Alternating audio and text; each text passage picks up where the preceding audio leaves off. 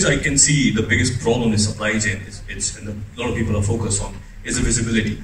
So all the cloud solutions are making big progress. So in in, in a lot of startups are focusing, especially on the freight and logistics side, improve the visibility, or, uh, and the customer wants visibility, us as manufacturers wants visibility. So that's definitely going to improve and improve very fast. The second, the third one I see is the Internet of uh, Internet of Things. In, in manufacturing and logistics, uh, you know, it's, uh, it's, it's fantastic. Right now, I'm already using RFID. We're talking about connected picking, picking through through the through the voice, and I think we call it um, Industry 4.0. So that's definitely gonna gonna change the change the, the way we do things. Uh, I recently found one of my friends that he started basically creating a video games of sort of video games, basically how to train people and simulate supply chain. So that's uh, that's the new new new way coming. The 3D printing is there for the last 30 years. So 3D printing technology wise, it's it's not new. It's been there for the last 30 years. But I think just about now, people have got a hang of how to use 3D printing to solve supply chain problems. So for example, in the when I was in aerospace division, the, the biggest problem is this contract of uh, you know they need seven year supply. So you cannot have a part for seven years. The solution of that is actually go through the through the 3D printing, right? So the technologies are there to work with. Okay, so great to pick up technology. I'm going to pick up the people side. Mm-hmm. Um, it won't come as a surprise on what we said earlier. I see a different, well, not different. I just see an accelerating technology-driven future coming in five, ten years. And it's not that we're going to be redundant, it's that we're going to be different.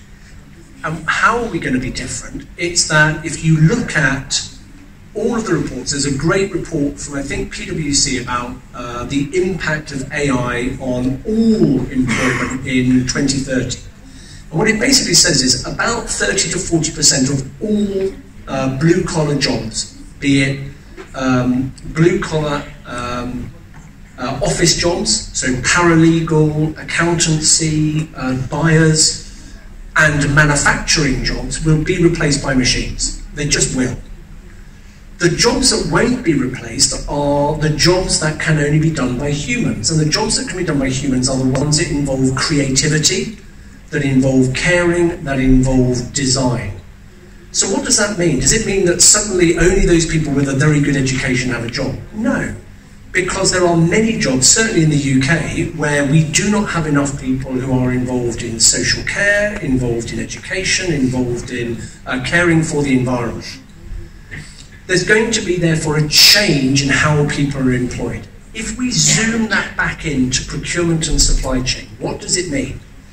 It means that the children today that are going to be coming into procurement and supply chain jobs in the next 10 to 15 years they're going to be different because we're not going to be asking them to do the basic repetitive tasks, which I agree are important today.